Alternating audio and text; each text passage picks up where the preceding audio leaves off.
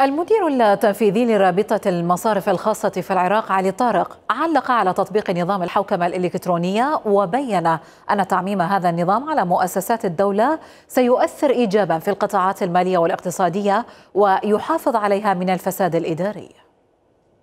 أتمتة العمليات إن كانت آه، مالية أو الأتمتة بشكل عام آه، تؤثر بشكل آه، مباشر على القطاع المالي والاقتصادي.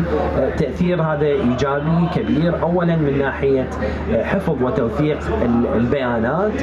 إن كان في اتجاه التحويلات المالية طبعا هذه كلها تكون موثقة ومسجلة في هذه الأنظمة. بيانات الموظفين المواطنين رواتبهم في المصارف حتكون موثقة لأنه لا يمكن فتح حساب مصرفي لشخص غير موجود وإنما هو شخص موثق كموظف لديه هوية وظيفية رقم وظيفي مستمسكات رسمية.